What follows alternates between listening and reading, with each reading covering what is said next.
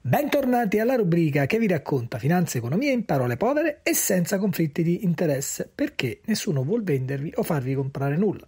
Buone notizie da Jackson Hole, dove dalle dichiarazioni di Jerome Powell, capo della Federal Reserve, sembra che finalmente i tassi cominceranno a scendere anche negli Stati Uniti dal mese di settembre, come abbiamo detto in molti episodi.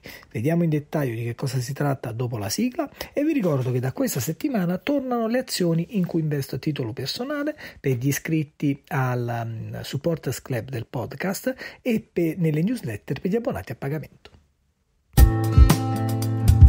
La finanza in soldoni è un progetto che promuove la gestione razionale della finanza personale attraverso un podcast, una newsletter e una serie di video sul canale YouTube di Massimo Famularo, oltre alla rubrica Money Flash per l'associazione Liberi Oltre le Illusioni. Commenti, like e risposte su YouTube aiutano la rubrica a continuare.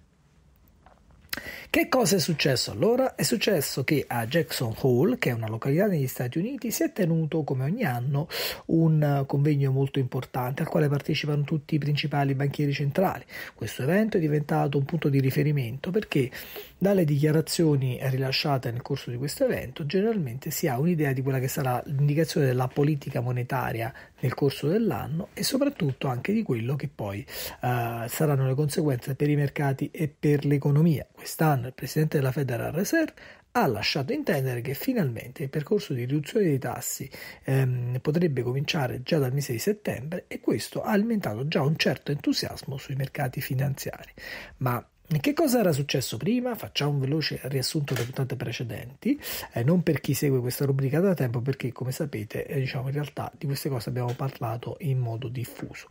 Due anni fa era tornata l'inflazione e le banche centrali hanno dovuto aumentare repentinamente i tassi di interesse. Questo ha reso più eh, costoso indebitarsi, più pesante per gli stati che hanno elevato debito come l'Italia, far fronte diciamo chiaramente al rimborso di interessi sul debito pubblico e ha rallentato in parte l'economia l'economia. L'obiettivo era quello di ehm, diciamo, impedire una crescita incontrollata dell'inflazione e sembrerebbe che l'obiettivo sia stato in parte già raggiunto, sia in via di raggiungimento, perché a questo punto i tassi interesse, eh, il rialzo dei tassi di interesse, che è la politica monetaria restrittiva e che quindi eh, diciamo, rallenta l'economia, si è fermato lo scorso anno, quindi i tassi hanno raggiunto dei massimi, sono fermi dallo scorso anno e hanno ricominciato a scendere, eh, in particolare in Europa a partire con la Banca Centrale Europea a partire dal mese di giugno e probabilmente cominceranno a scendere anche negli Stati Uniti dal mese di settembre. Lì abbiamo visto che c'era anche un tema di opportunità perché ci sono le elezioni poi nel mese di novembre e in genere vicino alle elezioni si tende a non modificare i tassi. Che cosa comporta questo per i nostri risparmiatori? Comporta che eh, ci, eh, la discesa dei tassi a breve termine generalmente comporta una uh, riduzione delle rate a tasso variabile, quindi quelle ad esempio collegate all'Oribor, man mano che i tassi scenderanno dovrebbero ridursi.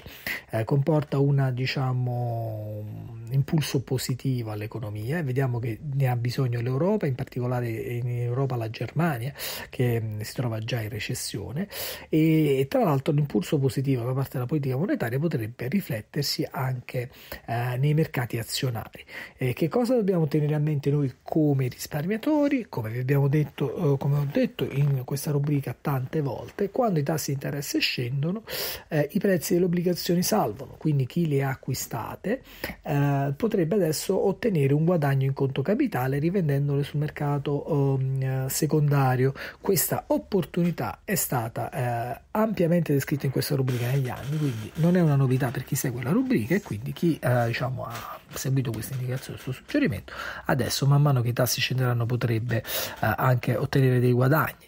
Eh, il mercato monetario um, offrirà dei rendimenti più bassi, ma sarà più bassa anche l'inflazione che abbiamo spiegato tante volte erode il potere di acquisto della moneta. Quindi in generale, siccome è improbabile che poi i tassi tornino a zero come avevamo visto negli anni precedenti alla pandemia, eh, una diciamo, gestione della liquidità sul mercato monetario, cioè con le obbligazioni a breve termine, continua ad essere un'opportunità che potrà rimanere interessante anche per i prossimi anni. E, e anche questo si tratta diciamo, di un riepilogo perché l'abbiamo detto tante volte. Dunque oggi l'investimento in obbligazioni volendo potrebbe eh, innanzitutto cavalcare il ribasso dei tassi e quindi portare a dei guadagni nei prossimi mesi, ma potrebbe anche fermare eh, per qualche anno, diciamo, bloccare tassi elevati perché poi eh, in futuro i tassi saranno più bassi, quindi diciamo per ottenere questo beneficio bisogna comprarle in passato le obbligazioni o comprarle ora. Si tratta tutte, diciamo, di vicende abbastanza note a chi segue questa rubrica perché l'abbiamo visto tante volte. Per riassumere, le notizie a Jackson Hole con confermano quello che avevamo detto oh, da tanti mesi e che era noto abbastanza a tutti, cioè i tassi di interesse scenderanno. La notizia più di dettaglio è che forse il primo taglio ci sarà a settembre, i più ottimisti addirittura sperano in un taglio da 50 punti base, ma insomma è un po' il solito eccessivo ottimismo dei mercati, è molto più probabile che il taglio sia da 25. Il nuovo corso della politica monetaria offrirà l'opportunità di registrare guadagni a chi ha acquistato obbligazioni e per sapere di questa opportunità non non dovete fare altro che seguire la rubrica perché l'abbiamo visto tante volte. Inoltre l'impulso positivo derivante dalla riduzione dei tassi potrebbe avere effetti anche sulla crescita dell'economia e sull'entusiasmo dei mercati azionari. Anche di questo abbiamo parlato tante volte. Vi ricordo che il contenuto del podcast e della newsletter non va inteso in nessun caso come raccomandazione di investimento o come consulenza finanziaria. Per le soluzioni di formazione personalizzate o anche per valutazioni gratuite della vostra posizione potete scrivere a mfamula blog chiocciogmail.com e ricevere dettagli sul servizio di Financial Coach. Um, questo è quanto, vi do appuntamento al prossimo episodio.